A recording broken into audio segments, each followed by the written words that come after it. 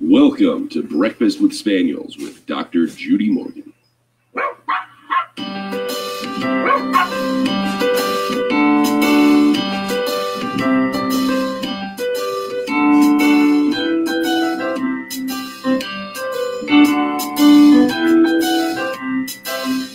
Oh, it says captions are auto-generated.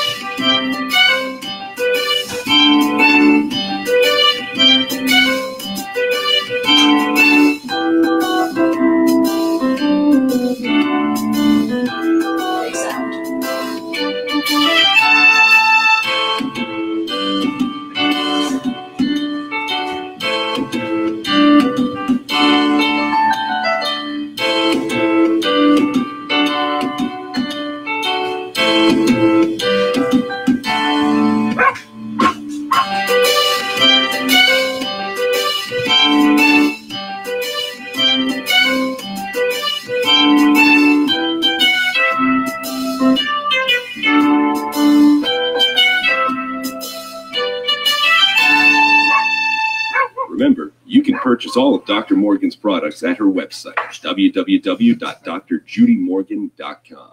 Now it's time to sit back, relax, and enjoy the show. Sorry for the squeak. You didn't spray it yesterday like you said he was gonna. Oopsie. Oopsie. Okay, so a couple things. Um, anybody see the article about uh, bedbug beagles? There are two beagles, I think in New York City, that are retiring from their job as bedbug sniffers. Um, and my office manager Pam is a beagle person. She does a lot of work with SOS Beagle Rescue, does a lot of beagle transport. And I sent her the article and I said, wow, this is really interesting. And she said, oh, yeah, it's the real deal. She had bedbug sniffing beagles work in her home years ago when her kids brought home bedbugs from sleeping over at someone's house. And they did the thermal heat treatment where you basically kind of wrap your house in saran wrap and then uh, heat it to this ridiculous temperature that kills the bugs. And every six months, the beagles come back and recheck her house, which is really cool. So, um, but apparently these two in New York got to retire. Uh, why would a five month old smell like maple syrup? Well, unless the pet's uh, get in ketosis, sometimes you'll get that smell with ketosis. I don't know. And, but it's weird to get type 1 diabetes in, in dogs. We do get it occasionally. Somebody I saw before asked, um, I have an eight week old, two pound chihuahua. How long should I wait to get a microchip? You can microchip them whenever you want to. It just hurts because it's a big needle. Um, uh, somebody asked how much pup loaf to feed. It's 2% of body weight for medium to large dogs, 3% of body weight for small dogs. Uh, little tiny, tiny dogs, you could even be at 4% of body weight, and that's talking for adult dogs. The, the directions for the minerals are on the side of the container and it's based on the weight of the dog and it- because that's loosely related to how much they're going to eat per day so if you're using the canine minerals it has a dose right on the side of the bottle okay um, yes good morning again so i want to talk about uh, lab work real quickly because i see this so commonly and it really bugs me i'm going to hide whose this is it's a consult today. But I would recommend that you request a copy of your lab work. Anytime it's done, ask them to email, snail mail, fax a copy of the lab work. Keep that in your pet's file.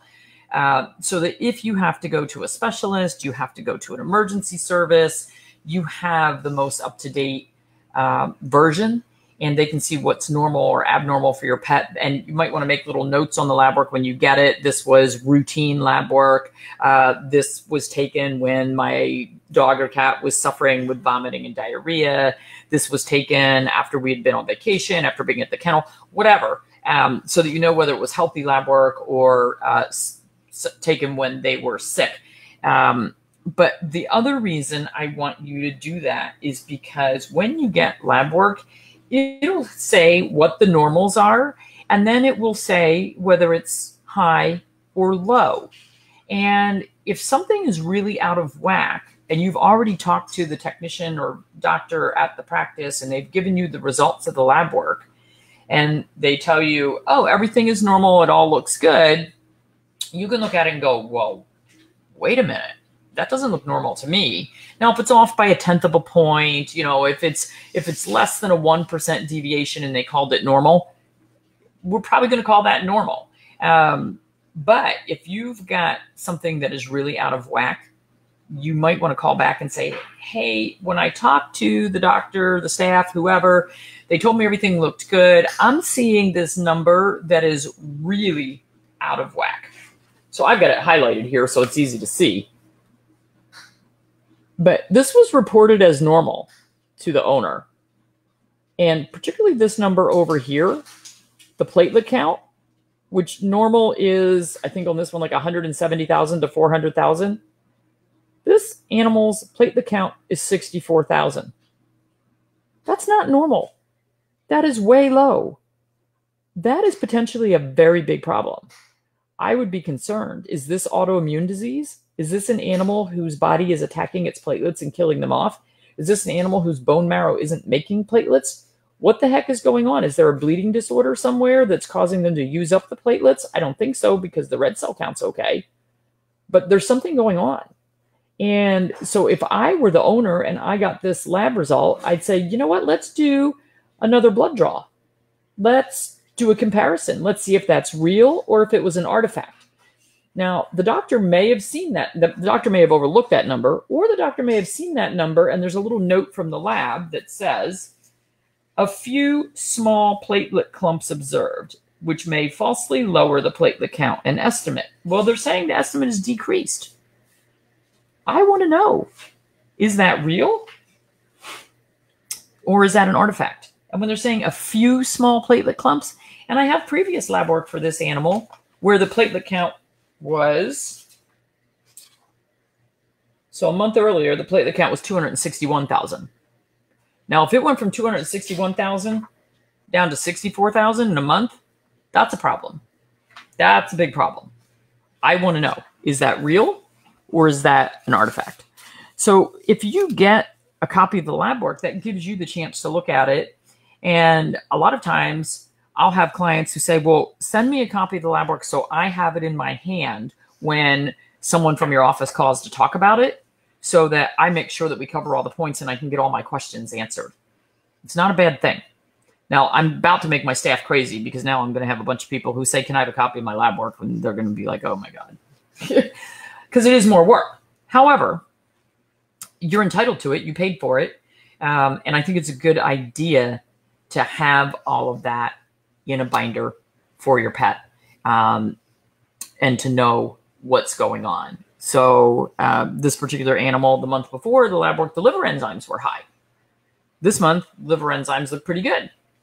So, they did put the dog on a supplement for that, which probably is what brought it down. But were those liver enzymes high because there was an inflammatory process brewing? And is that inflammatory process that was brewing now an autoimmune platelet disorder? I don't know. We need new labs. We got to figure that out.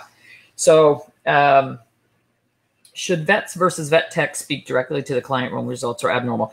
In our office, uh, it generally is our technicians, but my technicians have anywhere from 10 to 17 years of experience.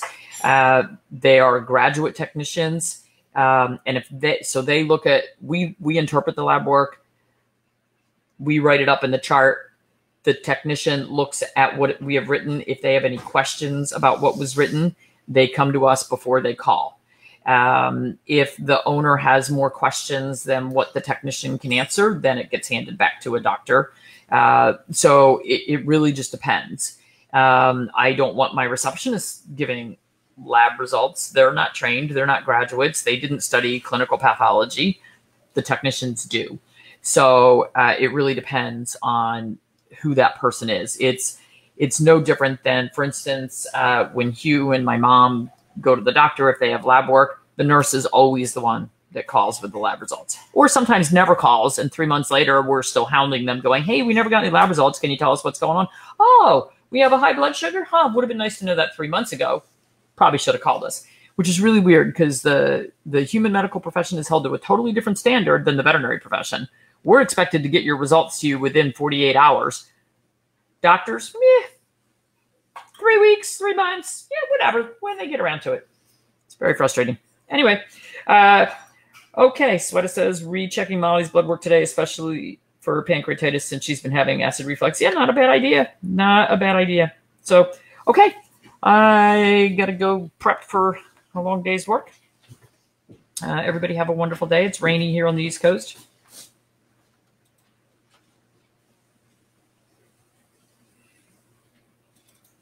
Have mm-hmm. mm-hmm.